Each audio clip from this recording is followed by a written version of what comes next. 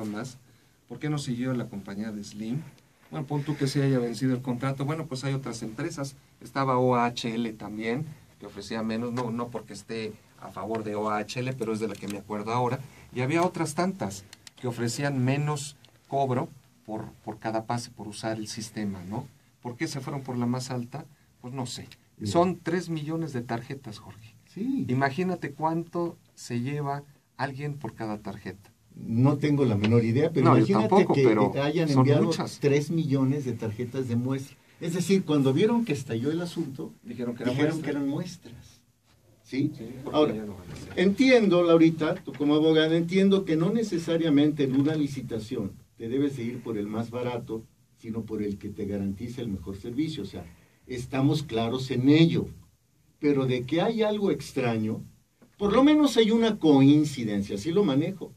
Coincidencia, una situación que va a la par de la situación de telecomunicaciones, que el afectado aquí es Slim, Sí, como en el asunto de telecomunicaciones. sí, se juntan estas dos cosas, Se así, juntan. con el sospechosismo, como alguien dijo, Ajá. ah, eh, coinciden las cosas, ¿no? Y déjenme decirles otra cosa. La empresa de Carlos Slim tiene el registro del nombre de llave. Es propiedad de Carlos Slim. Y inmediatamente dijeron, no pueden usar el mismo nombre para llamar una tarjeta de, de- de pase por las casetas. El nombre es de nosotros. Entonces ahí se le viene también otro problema a Capuf, ya la empresa que, que ganó la licitación. ¿Cómo ves, Lau? Eh, como ciudadano siento que la certeza jurídica eh, está ausente. Hay eh, que apelar al Estado de Derecho para recordarles a los servidores públicos que ellos eh, se comprometen a un acto constitucional que les pide al menos lo estipula el artículo 113 eh, ser imparciales, tener honestidad, varias cualidades como servidor público que parece que están pasando a ser letra muerta, que eso es grave. ¿Por qué? Porque entonces el Estado de Derecho Sí, en dónde queda, ¿no? Y es el que vemos pisotear a cada rato, ¿no? garantiza una eh, realmente convivencia en la comunidad y, y bueno aquí sí le pedimos al eh, señor Benito eh, que pues, la verdad eh, nos aclare estas dudas y haga eh, pues un, un- un- sea congruente su actuación Que haya transparencia y que haya rendición de cuentas. cuentas. Como debe verlo, no nada más en Capufe, en todo.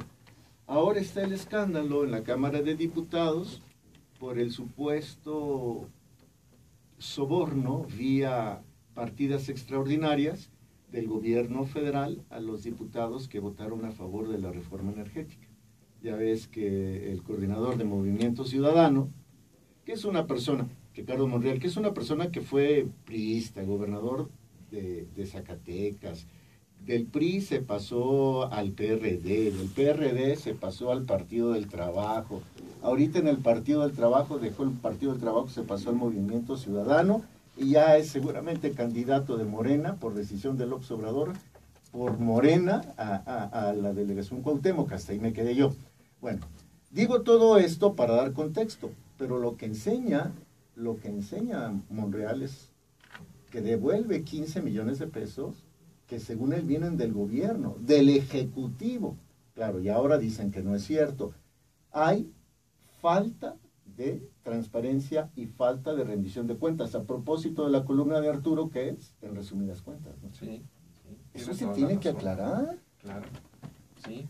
Eh, Hace falta la rendición de cuentas, lo que dice Laura, lo que Sí, dice el derecho, lo que está... El Estado de Muy Derecho, claro. el derecho administrativo, están las leyes, las normas, los reglamentos, los protocolos y definitivamente pues hay que tener una actuación de rendición de cuentas y de transparencia porque las, eh, la sociedad civil ya tiene más acciones eh, civiles, entonces nos estamos dando cuenta. ¿Qué onda con las cuentas en Mexicana de Aviación? Por dar otro ejemplo, otro nada más de los muchos que podemos traer a colación. Y muy de la mano oceanografía. Son dos casos similares, distintos por supuesto, pero similares. ¿Qué pasó con Mexicana de Aviación? Gastón Azcárraga, el empresario, la compra muy barato al gobierno cuando se vende, la maneja junto con sus hoteles, los hoteles Posada, la quiebra porque sacó dinero, te cobraba Mexicana de Aviación el derecho de uso de aeropuerto, el TUA famoso, y no lo declaraba Hacienda. Los impuestos te los cobraba en los boletos y no lo declaraba Hacienda. Tú si no pagas tus obligaciones fiscales, te vas al bote. Y el señor Escárraga, tan contento, se deshizo de Mexicana por una cantidad, creo que pagó un dólar, recibió un dólar, se, la, se la transfirió a otras personas que se quedaron con el problema. Él se fue tan contento a Nueva York, en donde estaba cuando lo encontró el Interpol, o cuando se le venció la visa.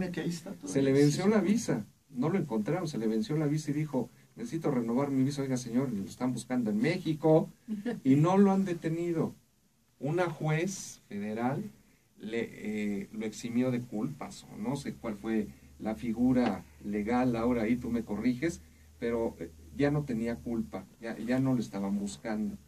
Pero ahora lo vuelven... De, de, irregular desde el punto de vista migratorio. Sí,